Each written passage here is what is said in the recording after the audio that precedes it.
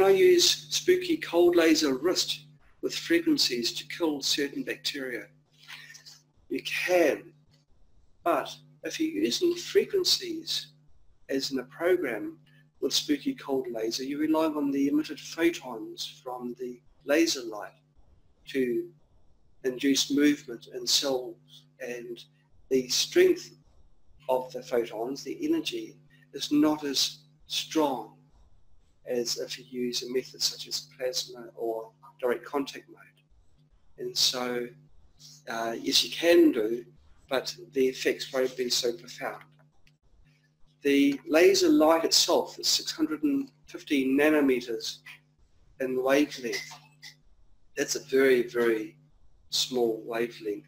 And it's very well suited for the frequencies which are required to kill bacteria. And so you can use the laser without any frequencies whatsoever and still get a healing effect from it. The research papers which have been submitted indicate that a slow pulse of spooky cold laser is more effective than continuous on application.